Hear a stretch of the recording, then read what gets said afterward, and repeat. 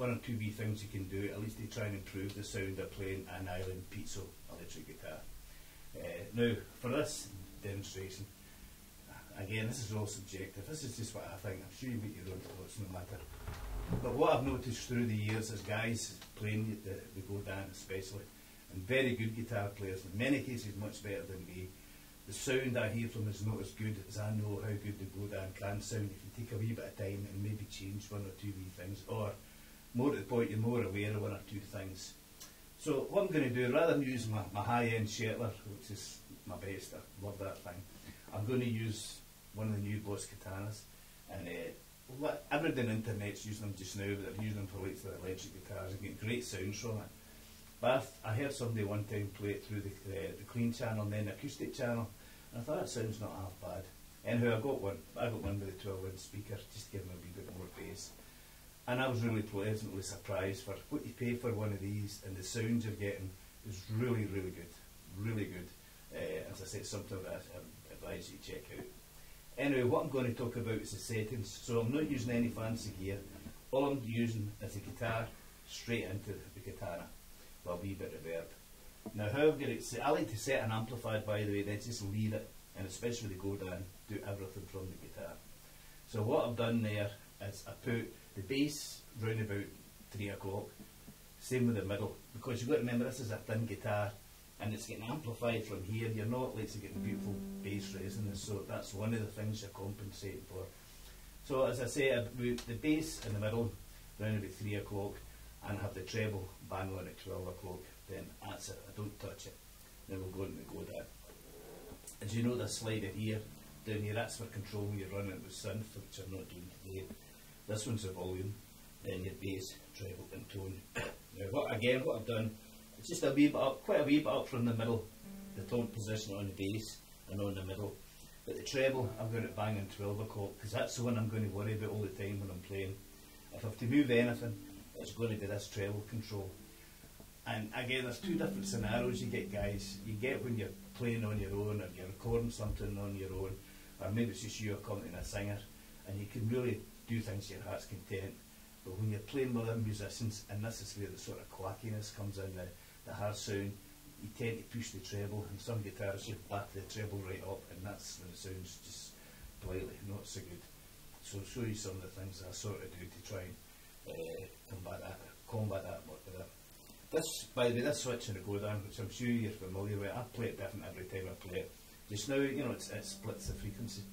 Just now I'm playing it in up position, I like the tone of it, but next week I might have it in the down position. That's subjective, it's just whatever you think. But it's these EQs here, that's your whole thing, that's the one you're going to concentrate on. So bass up, about three quarters of the way up, middle three quarters of the way up, treble in a 12 o'clock position, but that's the one I might move. So when I'm a gigger I'm playing with the musicians, that's the only one I concentrate on because the amplifier's already set. Now, as you saw me play just a wee bit there, and although I'm using a, uh, my right hand here, it's the same uh, principle with a plectrum. I'll maybe play a wee bit in the plectrum, though I'm not a great plectrum, but just to uh, give you an idea of what we're talking about. It's basically, there's two things that can change your tone. Number one, as we've talked about before, is where you're actually playing the strings. As I say, I'm using my right hand, moving up and down. It's the same thing with a plectrum. So if I need a more sort of brighter sound, like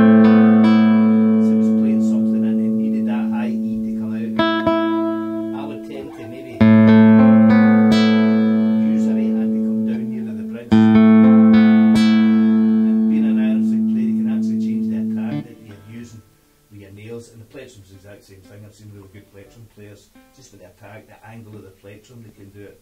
In other words, I'm trying to do as much as I can not to move this, trying to leave this set, although I would bring up the treble if I absolutely had to. So, so say I was doing a run and uh, like say the E was a pedal note.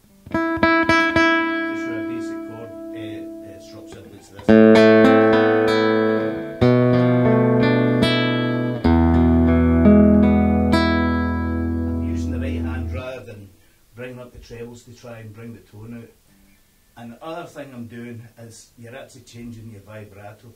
Instead of using like the vibrato like a rock guitarist would do, it, you actually really need to change it to, to like a, a, a, how a classical player would do it. It's not big, uh, not no bother whatsoever. All you do is, so let's you're hitting that area. Instead of just hitting it, twanging at it, you're trying to get the bass sound, just a wee bit sideways vibrato.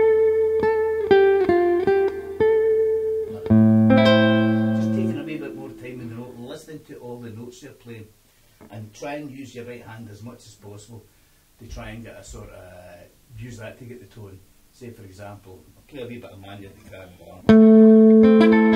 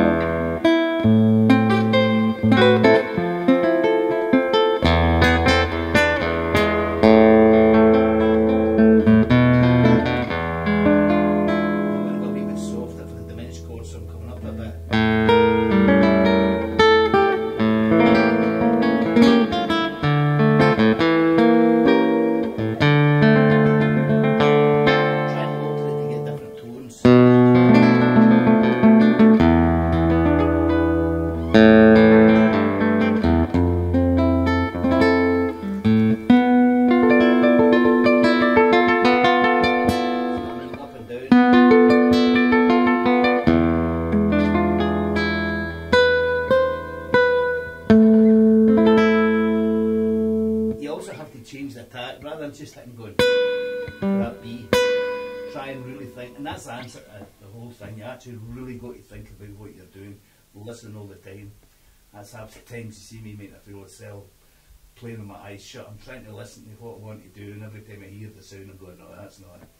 But that's why I'm doing it. I'm just trying to hear all the time, so that's not what I want. That's a bit better.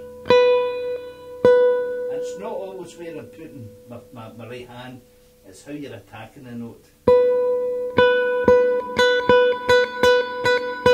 There I'm getting quite a bright sound, just be changing the attack of my nails, or you could do it with a plectrum, and I'm still in the middle position rather than coming up here.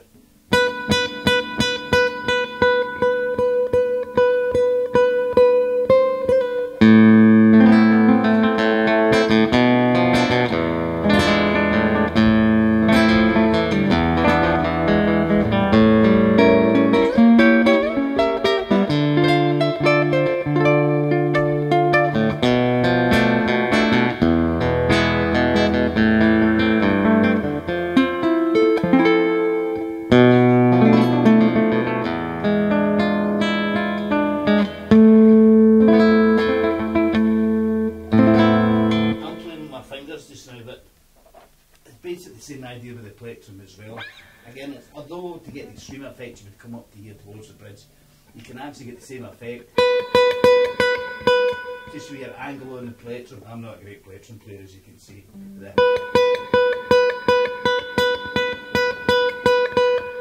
And it's taken away from that sort of, again, that quacky sound. They all do it by the way. I mean, I've, I've played an nylon string guitar more often than I've played anything else, and you can see by my great age, I've been doing it for a lot of years. And I had the first of these, if you like, electric nylon string guitars when they first came out. Some of them was just a microphone and a sound hole, which is great when you're playing the time to set it up. But a gig, it was a nightmare. Oh, I was always feeding back and everything. And then I got one of the very first ones. These weren't uh, hugely expensive at Hazen. I got one of the first ones where you actually had the piezo on the saddle, and that was that was that was a big improvement. And then of course everything's getting better. You get better, better electronics. Uh, the one I like playing a lot is Maribiris, uh, and that's a killer. But how and the way I, you'll see me pick up the Godin more is I love the freedom this neck. It's great fun for me playing up here, which you can do in uh, a classical shape style guitar, but it's not as much fun and it's not as much. And, and the other reason, as I say, these the Godins are extremely well made, and I just want to try and make the point, and that's why I'm doing these.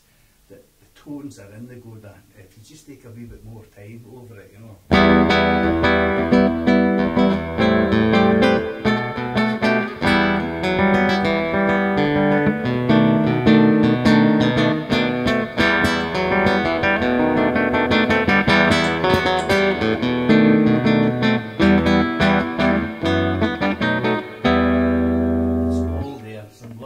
Some beautiful effects and everything like that.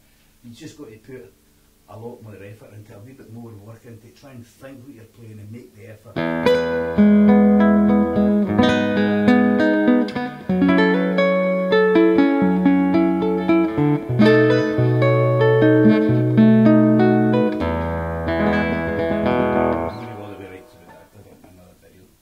Anyway, I managed to do all that without touching the treble control at all, right?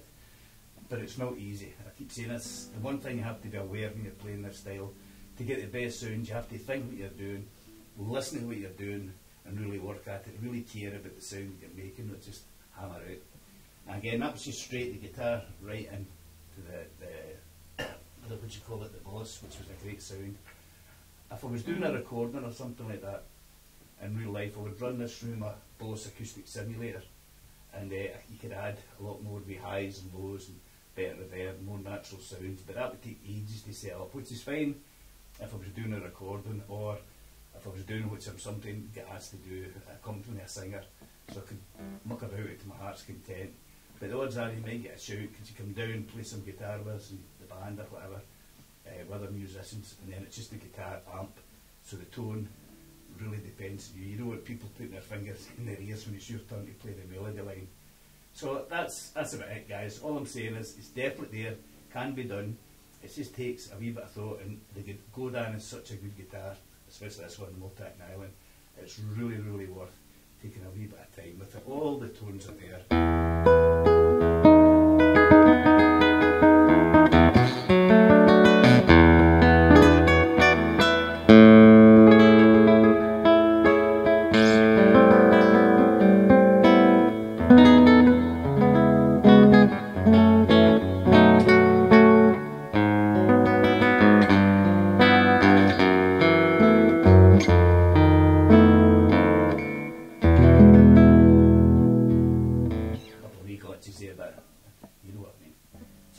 Thanks very much for watching, guys. I hope that was a wee bit informative and helpful, and uh, I'll catch you later on. So thanks for that.